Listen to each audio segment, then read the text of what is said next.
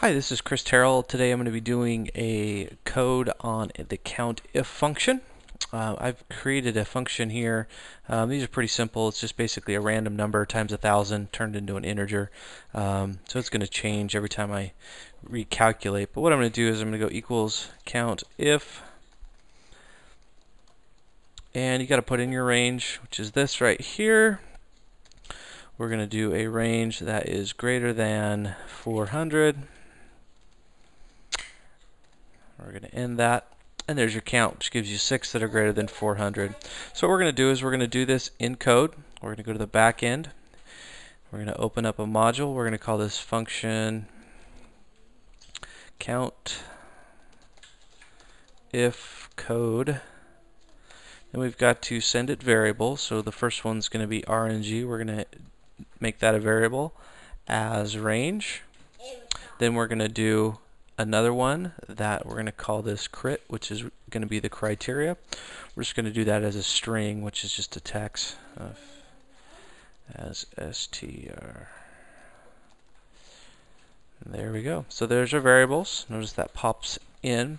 First thing we're going to do is we're going to do a little loop that goes through each cell within the range. So we're going to go for each CL in RNG.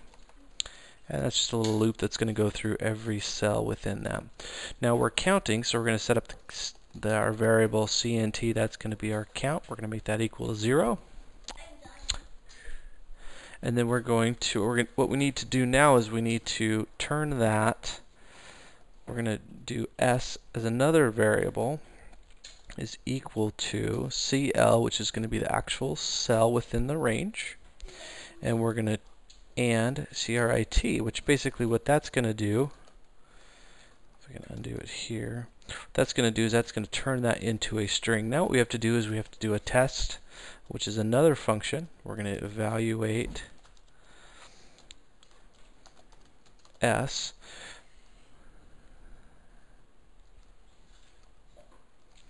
And I'm looking there, eval spelled that wrong. Okay, yeah, I was looking for it to capitalize there.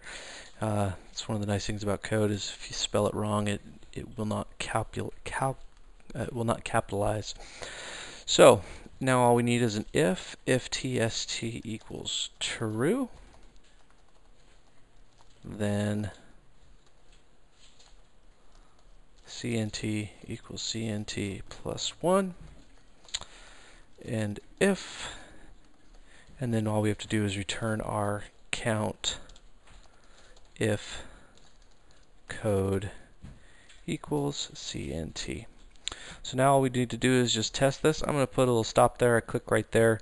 Uh, I'm going to go ahead and run this code. So now all we have to do is go back to our go back to our Excel spreadsheet. We go equals count. Notice it populates. Remember that first section is the range. We're going to do comma and then we're going to do greater than 400 and we're going to see if this works. I'm going to hit enter. And what we'll do is we'll actually get to see what happens. So cell 1 within my range is equal to CL so it's going to be CL it's got to be greater than my criteria. It's going to convert that to a string and it's going to test is 396 greater than 400. Test is going to come back as false. It's not going to count. It's going to go through.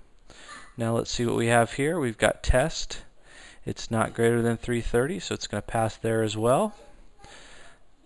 Now 900 is definitely greater than 30, so we're actually going to count. And it's going to go through all the way through. I'm going to go ahead and undo this. We're going to hit F5 to go through. Now we're going to go back. Notice it's 8. Now since these are since these are variables, we can actually switch these up and uh, we can recalculate these. So, and notice that it, it is equal, the count if is equal to the count if code. You now know how count if works on the back end. Hope you enjoyed. Have a great day.